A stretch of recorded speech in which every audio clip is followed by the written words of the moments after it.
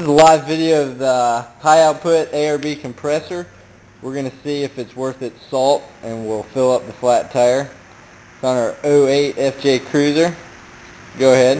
This is a uh, 285 7017 from 0 to 35 psi.